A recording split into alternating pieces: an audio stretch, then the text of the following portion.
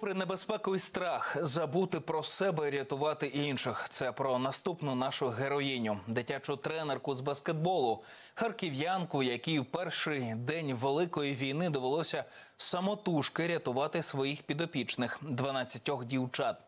У переддень повномасштабного вторгнення РФ Елеонора Чек вивезла команду з Харкова до Києва на півфінал чемпіонату України з баскетболу. І тут, на базі в Пущі Водиці, зовсім поряд із литовищем Гостомелі, який штурмували російські війська, вони зустріли перший день війни.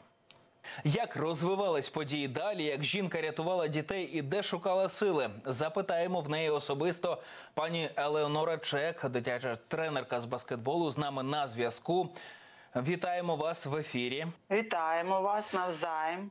Отже, яким видався перший день великої війни для вас і для дівчат, з якими ви приїхали на турнір до столиці? Ну, по-перше, коли почалася війна, наші дівчата спали в своїх ліжечках, нас е, розбудили е, батьки. У нас е, жило шість команд в пущі водиці. І коли нам зателефонували батьки, ми зібралися цим, цим тренер, тренерським штабом на першому поверсі і думали, що що з нам робити.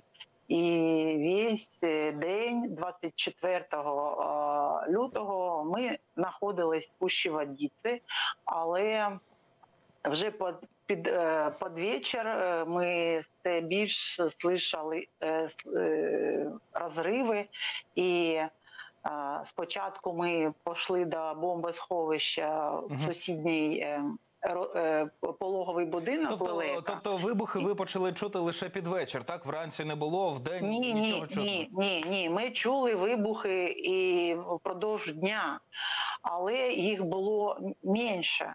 По-моему, вже днем, днем мы э, попросили э, помощи у сусідньому будинку, пологому будинку Лелека, тому що в підвалі бомбосховищі нашої бази всі діти не змогли розташуватися. Київська команда батьки одразу приїхали, їх забрали. Команда з Рівне теж е, були пробки на дорогах, але батьки діточок, які з Рівне, теж на машинах приїхали, забрали. Нас залишалася в Пущі Водіці Харківська команда, команда з Дніпро ага. і команда з Івано-Франківська. І це по скільки років спортсменкам було? Е, це діти 2009-2010 року народження. Тобто 12-13 ми... років, правильно? На той так, момент? Так, так, так. Угу. І е, ми спочатку попросились бомбосховище в підвал е, сусідній будинок е, пологовий лелека. Вони нас пустили. Ну там було дуже мало місця і.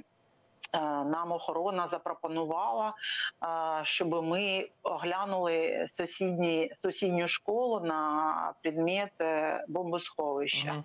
-huh. Спочатку там не було ніяких там матрасів, там зовсім мало. Потім волонтери привозили матраси, воду.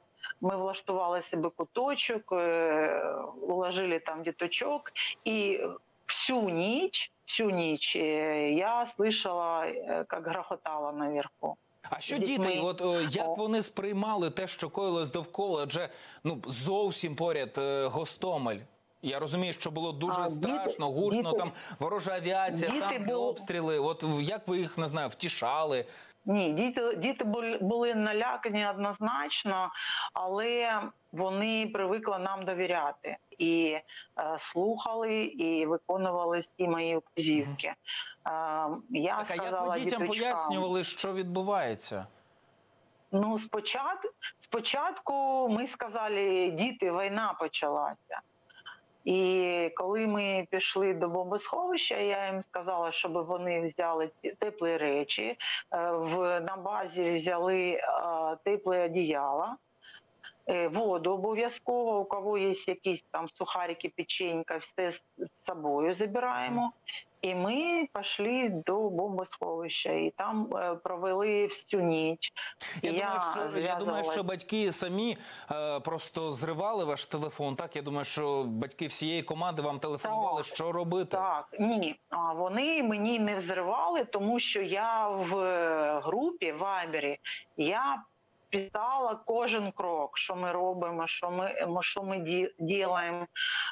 Там пару батьків ми з ними е, радили, що, що лучше зробити. Е, Коли я, ну, по-перше, батьки. е, бажали, щоб ми повернулися в сторону Харкова, а не, а не в зворотню сторону, бо весь народ ринувся на Западну Україну, і ми просто е, там було б нам складніше. Я розумію, що я построїла маршрут із е, з огня до полем'я, бо Харків на те на той момент теж е, було в Харкові теж було гаряче, але батьки вирішили, що ми повинні рухатись в напрямку Харкова, і ми постійно зв'язувалися з Федерацією баскетболу України. І вони а, ну як могли, допомагали. І команді Івана-Франківська вони допомогли. Перевозчик приїхав і їх е, забрав на вокзал. І Але, але вони, Івано-Франківська- вони їхали в безпечний більш регіон. А Ми ж розуміємо, що відбувалося в Харківській області. Тож ви з командою де Так. опинилися врешті? Е, Нам, е, нам був замовлений на 11 годину перевоз, перевозник е, автобус, але він не приїхав за нами і угу. сказали, що вибирайтесь як хотіте. Тобто просто І вас я- е, покинули? І що ви ну робили? так. Ну я е, побачила там бусик стояв, який е, привозив продукти. Там у нього було шість посадочних місць. І він каже: ви сюди не залізете. Я говорю, залізу. От одну дитинку у мене зразу з Пущеводиці забрали. І коли ми підійшли до цього бусика, я дівчаткам своїм осталося 11 дівчат. Я їм сказала: я не знаю, як ви це буде робити, але ми всі повинні сісти в цей бус і поїхати до зал- залізничного вокзалу. А, Вони е, друг на друга сіли на сидіння, в багажник засунули свої речі. Зверху на ці речі залізли дівчатка. Але ми все ж добралися до зал- залізничного вокзалу. Там було дуже багато людей. Я посадила діточок е, внизу в переході і, напевно, десь 4-5 годин бігала наверх, дивилася, який поїзд е, в сторону Харкова. І я побачила поїзд е, на Дніпро. Ми подошли к вагону. У нас, звичайно, не було ніяких підків, але я до жіночок подошла і сказала: заберіть нас, будь ласка, от у мене квитки на Харків на, на 6 вечора, але Харків не приймає.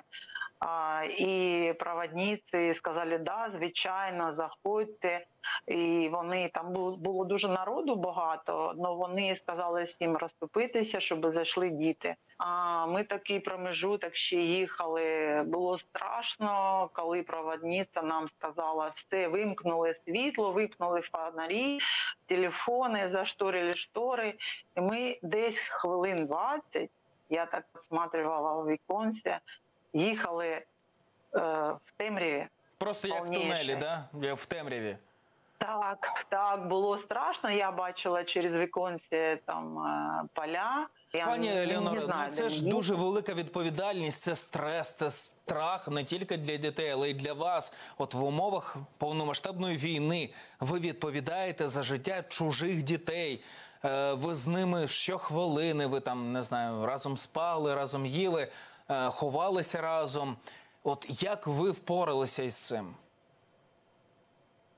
Ну е, прежде всього, я це зробила все на автоматі. Я не пам'ятаю, щоб я. Я потім, коли ми вже були в небезпечному місці, я ридала. А до того я я не плакала, і я все время в мене мозги працювали як комп'ютер. Я не пам'ятаю особо своїх емоцій. Я пам'ятаю, що я думала постійно, дивилася в інтернеті, дивилася Да. за обстановкою. А як діти це І все вже- сприймали? Вони теж в інтернеті щось там шукали. От як вони трималися? Е, І чи був, був хтось, е, хто вам допомагав із ними? А, ні, діточки наші були, ну, мої діточки були а, зґрунтовані разом всі, вони не задавали лишніх питань, вони, вони мені до, до, до, допомагали. А от скільки днів минуло, допоки ви розвезли, провели, влаштували всіх е, дітей? Ну, десь е, дивіться, ми приїхали е, вночі в Дніпро в комендантську годину, і ніхто не наважився за нами приїхати. Я це розумію. І ми ночували на вокзалі. А зранку за нами приїхав автобус, який за, за який домовилась наша наша Угу. Матуся, дівчинка, яка грала за збірну Краснограда, вона е, домовилась за автобус, заправили автобус. Міська рада надала цей автобус. Вона домовилась за соціальний центр, який нас е, поселили. Е, І десь е, 10 днів батьки, я чекала своїх батьків, і вони виїжджали, забирали діточок і їхали далі. То куди. Весь цей час ви були в розлуці із власною родиною, поки е, займалися дітьми. Так вони там в Так. Харкові залишалися Так. перші дні війни, які росіяни обстрілювали щодня, і е, потім вирішили евакуюватися. От коли ви всі зустрілись із родиною своєю? Ну, ми зустрілись. Я так пам'ятаю, що вже 8 марта е, ми сиділи разом за великим столом. А, а до 8 марта, по-моєму, 7 марта в мене забрали останню дитину. Е, і я вже переїхала. Ну, моя родина приїхала в Красноград, але я залишалася в соціальному центрі до останньої дитини. От і коли забрали останню дитину, я вже з'єдналася з моєю родиною. Ви зараз в Кропивницькому всі разом мешкаєте, правильно? Так, так. Да, е, Чим займаєтесь? Е, Чи вдалося не знаю повернутися до улюбленої справи вашої? Ну, по-перше, все було добре в Краснограді. Нам там подобалось. е, Нас оточували дуже приємні люди, але ні в Харкові, ні в Краснограді не можна було тренувати. І ми вирішували е, родиною, бо у нас е, родина тренерів, їхати в Кропивницький. Нас запросили до себе наші свати, тому що здесь можна робити можна займатися тим, що ми вміємо найкраще, мабуть. Кожен зараз е, потрібно, е, кожному зараз потрібно робити те, що він вміє робити найкраще. Е, І ми пов- приїхали до Кропивницького з одною метою, щоб працювати з діточками. Ми приїхали на початок квітня. Я звернулася до мого директора спортивної школи номер 13 в Харкові, тому що в кожному місті, якщо в мене немає друзів і знайомих, то у мого колеги однозначно є тут друзі та знайомі.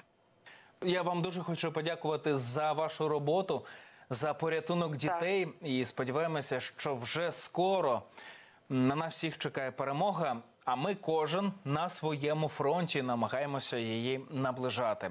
Це була Елеонора Чек, тренерка з баскетболу. І я не побоюся цього слова героїня. Дуже вам дякую. А марафон триває.